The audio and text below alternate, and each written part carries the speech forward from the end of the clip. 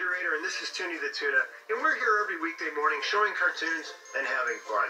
Toonie, I had a great time celebrating Bugs Bunny's birthday today. Oh, yeah, yeah, me too, me too. You know, it is amazing how he's still going strong after all these decades, right? And it kind of makes me wonder how I will be holding up when I am in my 80s.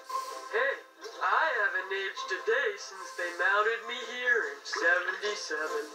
Anyway, let's check out what our viewers have sent in.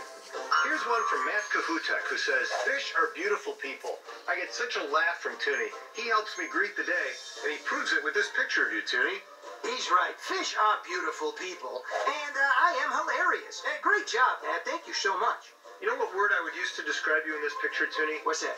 Vibrant. Vibrant. Yes, yes. What does that mean? It just means you're, you're just you- you're just motion. You're motion in motion. Yeah, that's me. Motion in motion. Toonie, great job, buddy. You really captured my essence. You can send us your questions, your jokes, your videos, or anything that captures Toonie's essence, all at the link below. We love hearing from you. Hey, we'll see you next time. Hope your day is tunerific.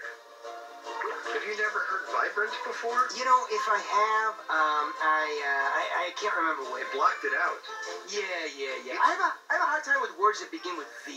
It's way at the back of the dictionary. Yeah. Way at the back.